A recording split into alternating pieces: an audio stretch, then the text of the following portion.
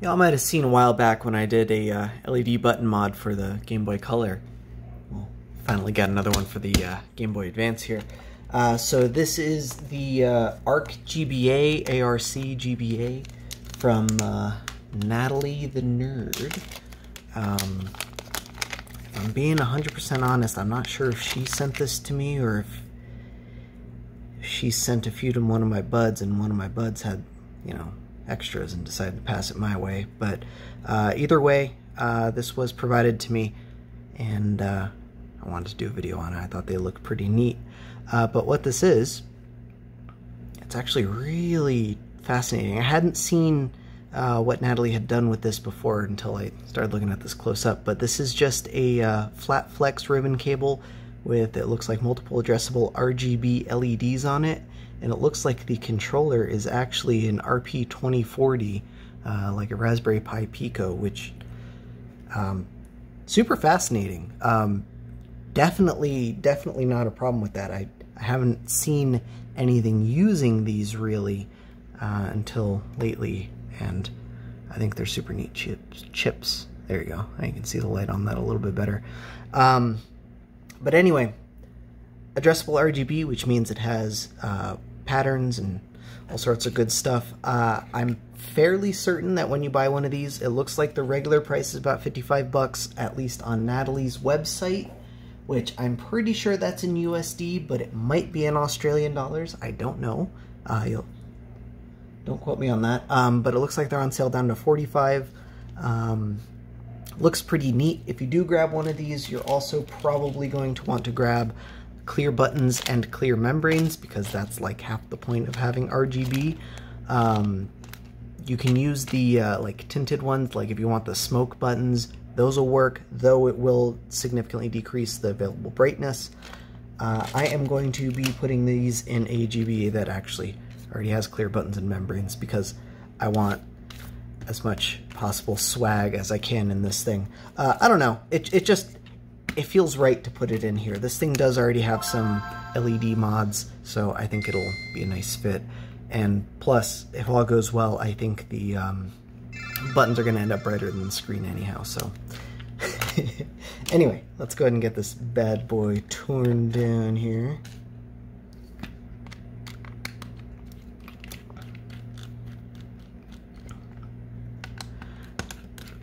For those that recognize this GBA, this is one of the first Game Boys that I ever modded, or it's, it's at least the first Game Boy Advance that I ever modded. Um, certainly not the first Game Boy though. I, I started with SPs, because of course I did. But, uh, I don't know, this thing is, um, this thing has seen many forms through the years. And, uh, on one hand, I, I keep thinking, oh no, it's historical. I shouldn't ever mess with it. And then on the other hand, I think, well, the original way I modded this was just unsafe or flat out falling apart. So I don't know. I keep changing my mind. I have completely redone the battery mod to something that is actually safe on that note, which I'll probably put a video up on eventually, but that's besides the point. Uh, these shell halves are both so absurdly cracked. It's a surprise this thing even holds together. And my battery mod has an off setting, but I am going to also unplug the battery itself just in case. Not that I think it'll matter.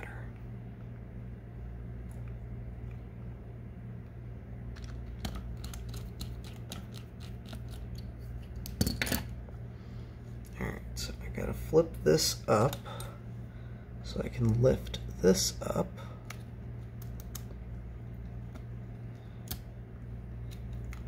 So we can flip this up.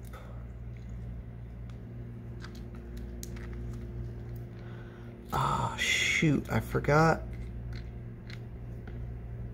I forgot my TPU was black filament. I thought it was clear filament. Well, maybe it'll still work. Um, this console has my tactile button switch mod. It might actually not even fit with this, so Might have to grab a different GBA.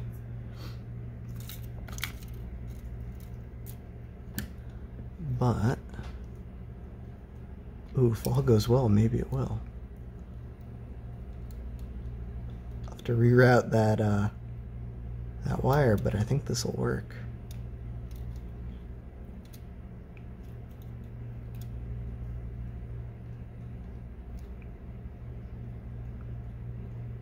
My concern is I'm probably going to have to lift this up and pull that out after soldering this down, but we'll we'll we'll figure it out.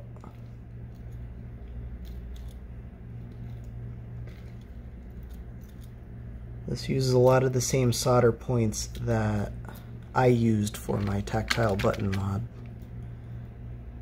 but I think we'll be okay.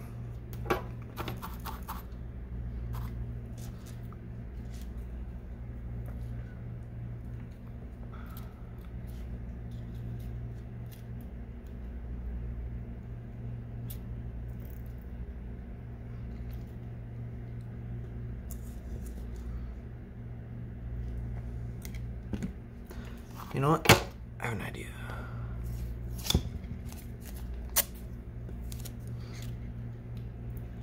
Get this lined up.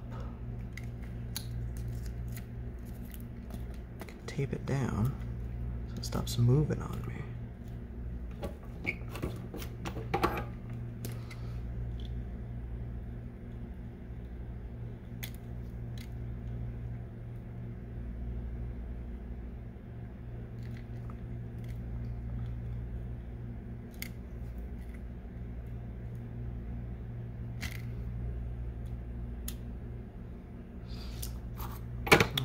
one. There should only be, I think, four solder points or something like that. Maybe five. There should be one of the buttons. Several of the buttons. Plus a ground and a voltage. Ah, I see.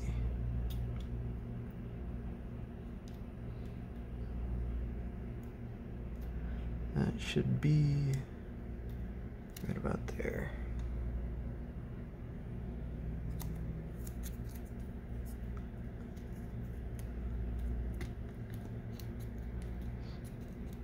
I'll have to come back. There's another point I'm about to miss.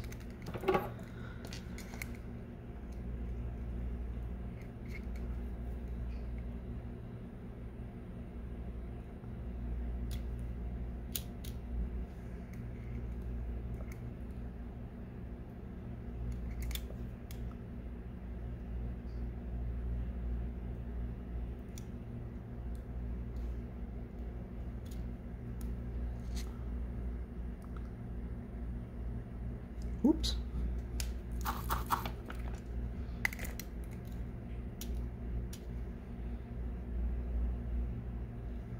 I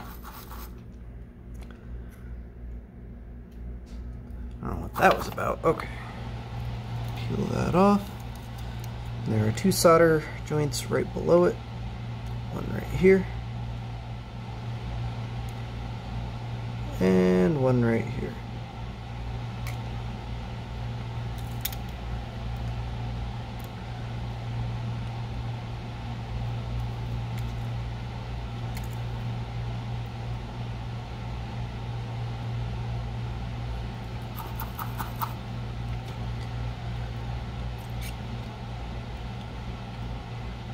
All right.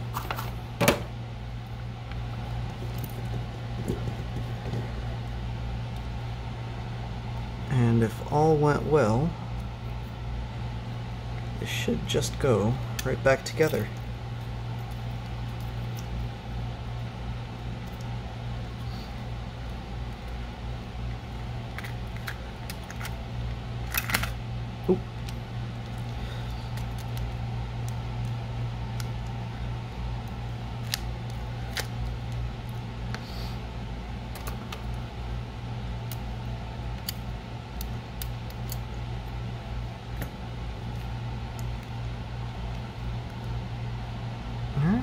feels like everything's seating enough. It's a little wonky on the bottom here. But I think that's just something I'm going to have to deal with. I bet it'll be fine if I just uh, send it. I don't know. Let's try it out.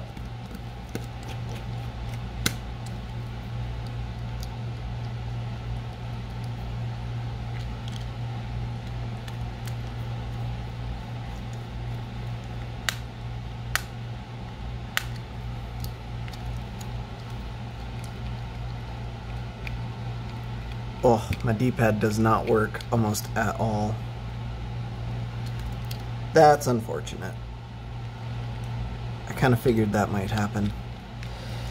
Uh, so unfortunately Natalie's LED mod and my um, tactile mod are not compatible with each other simultaneously, but plug that in, switch that on, should be able to boot that up. Yeah, you can't see crap because it's not diffusing right anyhow. I think it needs those membranes to diffuse. Alright, so let me go ahead and get this torn down and uh, I'll swap this into another GBA and we'll go from there. Alright, so plan B was going to be also somewhat ambitious. I was going to upgrade that um, that uh, motherboard that I hand assembled um, I did a stream a while back assembling a GBA from scratch where I assembled this motherboard.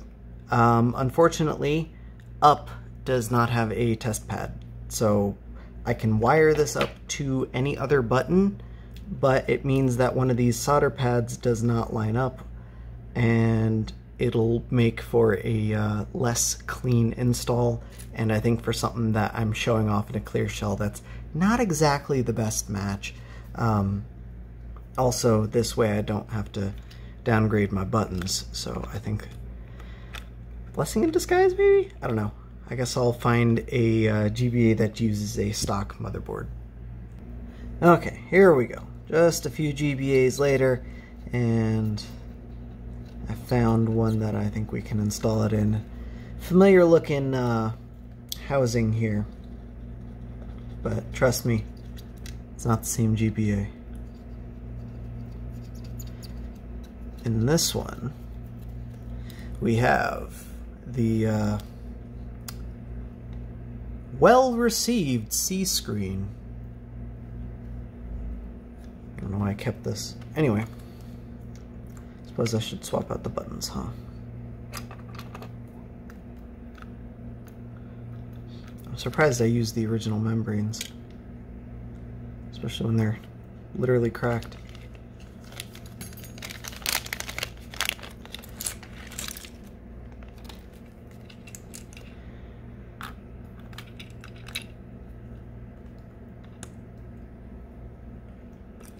Wanted to use that, uh, this color one originally. I don't know, just, it, it felt appropriate.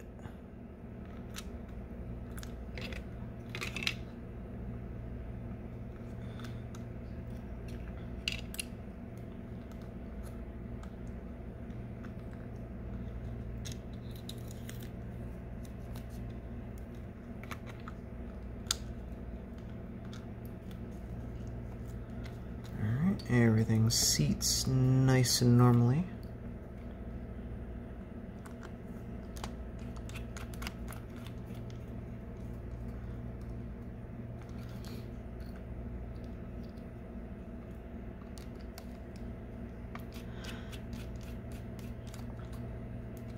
I bought this shell on Taobao on a whim. I thought it was going to be the neatest thing, and then uh, I don't know, sometime after it shipped, I, I had a moment where I realized, what what the hell am I even buying this for? Like, why, what's, what's going on? Um, and then I, I mean, at that point it was too late. Thankfully, it's not the most expensive GBA shell I've ever purchased. Not that that makes it any better. Um, I think all in all, I ended up paying like 50 bucks for it. It was like 30 bucks for the shell and then another 20 for shipping. Because Taobao. And all things considered, 30 bucks is actually a really good price for a custom shell. Oh, Bamako, this doesn't look like a custom shell. That looks just like every other generic aftermarket in this color that is also uh, glow in the dark. Well, my friend, you're about to learn that that is not quite true. As soon as I flip this over.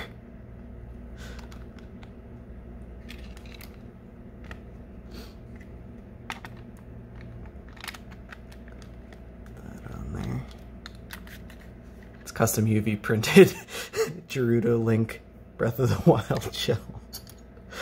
Uh.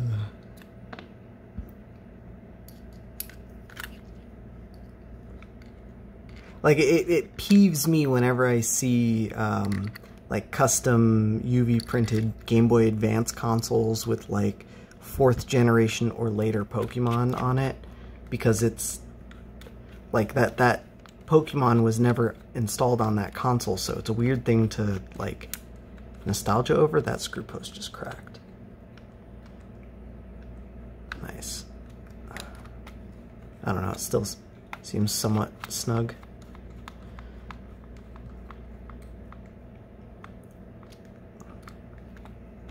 So, like, Breath of the Wild on a GBA certainly isn't my top pick of uh, art sources, but I don't know. I, I, I, couldn't pass up the hilarity of uh, the subject matter, especially since it came with an, an actually rather nice custom box, too.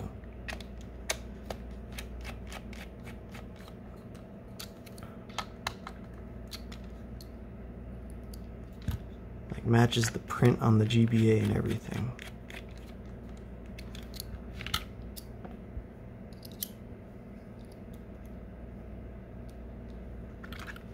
Not even that into Legend of Zelda. And yet here I am. Anyway. Ta-da! About some baterías?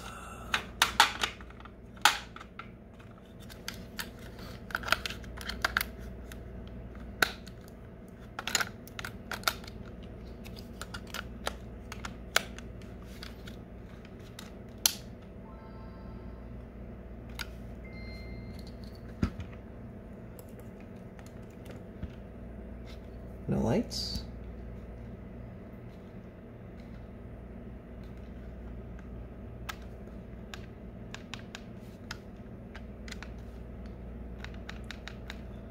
Hmm, I might have missed the solder joint.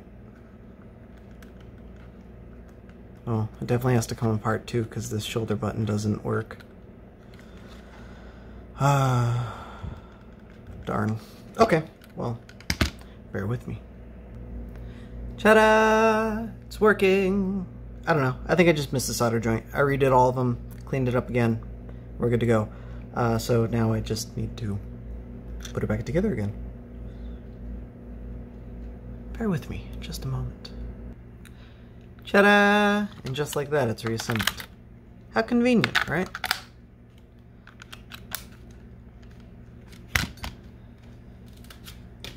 And I've even got a game here. Oh, wait. Ooh. That was weird. Okay. Hey, I got lights this time. So it says uh, start and A to change colors.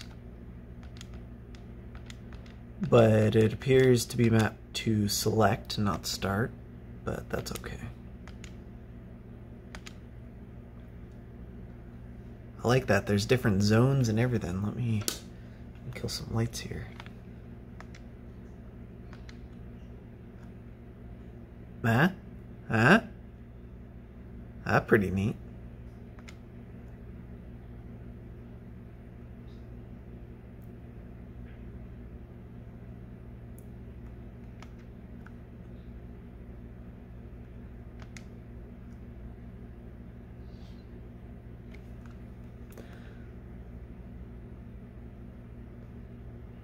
It looks like it starts at the brightest and uh, select and up changes the brightness. So there's whoop, there's off, bright, less bright. Oop. There's no debouncing, it appears. So there's bright, less bright, dim, and off. Three levels.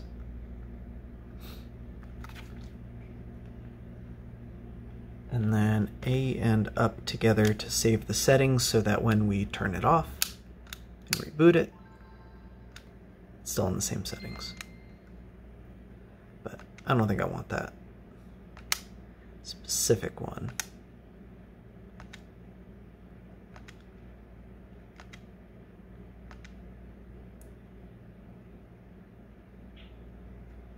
Is that rotating through something? I don't know. No, I think that was just white.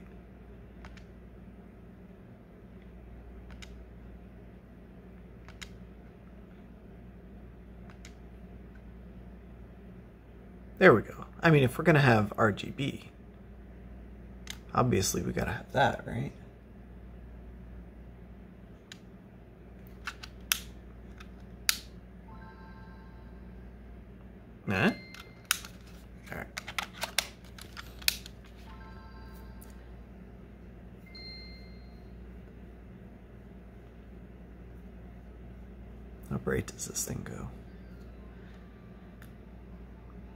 Well, with the buttons at max brightness and the screen at max brightness, this kit is notorious for um, uh, having power consumption woes, and GBA seems to be doing fine. I haven't measured it, but Natalie says the um, Arc GBA kit is actually pretty low when it comes to power usage, and I'll believe her.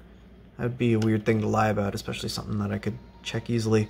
Uh, something like this, I tend to not bother checking the power consumption because it's like obviously it's going to use power, right?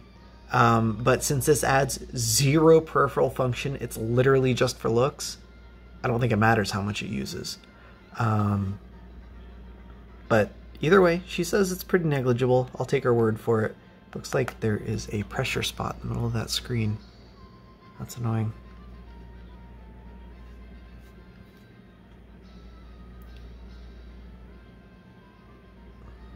It's also annoying is how long it takes to turn it down.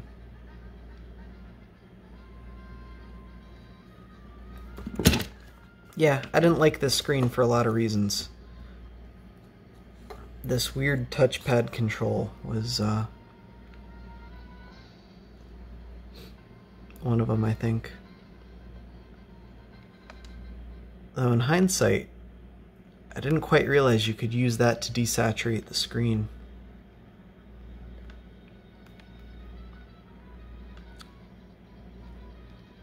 knowing that now, I probably shouldn't have judged it as harshly. But, oh well. It is what it is. There are better kits these days, anyhow. And yeah, all of the buttons work just fine. Exactly as expected.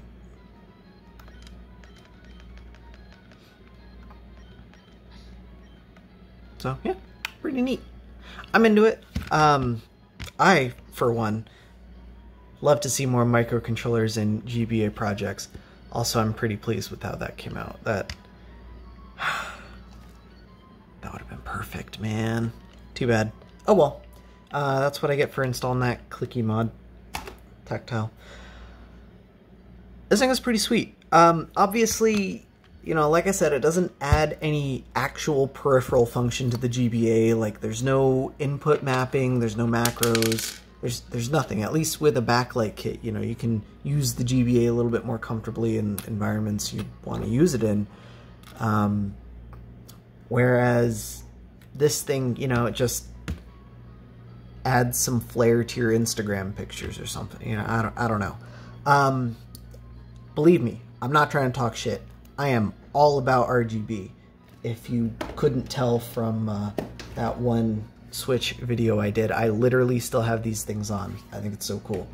Um, LED mods, yeah, I'm all, I'm all about that. I mean, except for in my computer. I usually turn those off because otherwise it'd be on all the time. You know, you know how it is. But yeah, LED mods, I think they're the shit. And this is certainly, uh, certainly pretty neat. Um, one thing I think I might like to see, there might be a few more colors. I think would be pretty neat. Um, also, I think I might like a little bit more brightness to try and match the uh, screen brightness. I don't recall how the brightness of this specific screen compares to other backlight kits, but I don't like how easily the screen is able to overpower the LEDs on max brightness. granted, I don't normally use it on max brightness, so it's a little bit less of an issue, but more options is more better in my opinion. I know higher brightness will significantly tank the battery life, and that is a um, that is a uh, side effect I'm willing to accept. Um, not like I'm gonna actually play this GBA anyhow, but yeah, I really like it. Um, thanks for sending it my way, Natalie. Um, hopefully you intended it to go my way. Uh, this kind of weird order of events that ended up with this thing in my mailbox, and uh, I'm super glad I got it. I was probably going to buy one even if she didn't send one, so um, maybe I shouldn't have said that. Next time she's just to wait for me to buy it. No, I'm kidding. I love you, Natalie. Um, this is this is awesome. I'm digging it. I think it's really neat. Uh, like I said, obviously it's, you know, you, you got to know you want one of these things, but it does exactly what it says. It's exactly as easy to install as you think it is. It does require soldering, of course. Doesn't seem to affect any buttons. Unfortunately, it does not work with uh, my tactile mod, uh, nor does it work with these black N64 Freak GBA boards. Uh, well, it will work, but uh, you'll have to remap the up button to pretty much anything else, because apparently that's the only button that doesn't have a test pad on these things. Um, and no GBAs were harmed in the making of this. But yeah, I think it's super neat. I'm into it. I'm digging it. I like to see more stuff like this. I think I think she's working on these for all the systems. I hope so. I like it. Anyway, that's all I got. Simple LED mod, not nothing too complicated. Um, actually, no. I've got something. Natalie, I think it's a real missed opportunity not having um, shoulder buttons and these side bumpers as LED zones. Maybe a separate mod for that? I don't know. I think it'd be neat though. Anyway, that's all I got. I will shoot a link to Natalie's store if you guys want to check this out. Uh, at the time of filming, they are out of stock, but I think that is because I got one of the samples and she's still waiting on the actual retail stock to stock them. Um, I'll try and time this video to go up when she has stock, so you know, if you're if you're watching this at the time it goes up, there's click the link, it'll probably be in stock unless they sell out. But until then, um, she has in-stock notifications. It's not too bad. Uh, but that's all I've got. Um, super cool mod. Again, thanks for sending it my way, and uh, I'll catch you all next time. Oh, and just because I literally mentioned the box, this is what it looks like. You've got this pretty cool uh, Breath of the Wild art on the back, and then on the front, we've just got Legend of Zelda Breath of the Wild, and it slides out. We've got this uh, less nice insert, but GBA goes in there. Got custom foam cutout.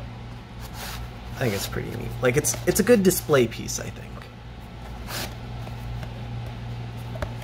I don't know if they're still in stock. Um, like I said, got off Taobao though, so it's not exactly the easiest thing to buy.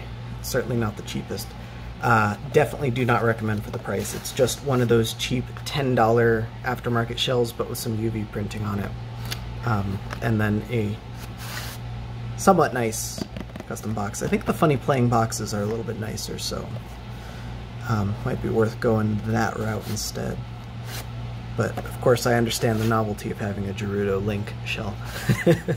anyway, that's all I've got. Until next time, thanks for watching. Um, and uh, more RGB is more more better. Am I right?